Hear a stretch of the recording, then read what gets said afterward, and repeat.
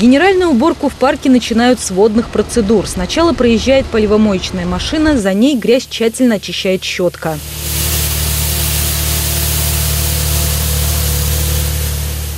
Одновременно дорожки моют несколько спецмашин. На новой технике и уборка быстрее идет, делятся водители. При помощи этого многофункционального погрузчика может очистить все дорожки в парке практически в одиночку, говорит водитель со стажем Алексей Аксюзов. Она хороша тем, что полностью гидравлическая, заводится в любой мороз без проблем.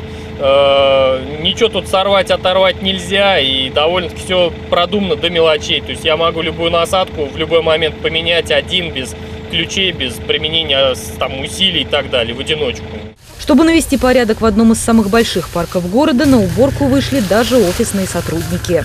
Очень хорошо, что погода такая удачная. Вот, не в офисе сидеть, вот, а физическим трудом заниматься, это хорошо.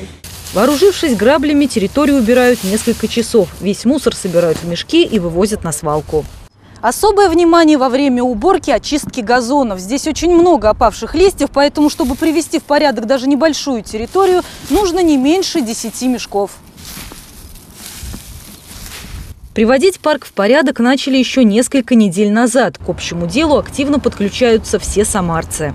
Активную часть принимают предприниматели, ликвидаторы Чернобыльской аварии. Хочется отметить, что ежегодно они приходят и убираются около своего памятника и помогают также нам.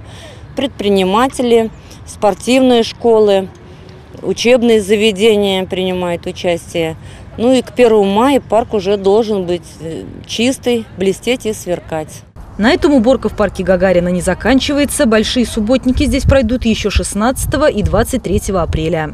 Лариса Шалафаст, Алексей Золотенков. События.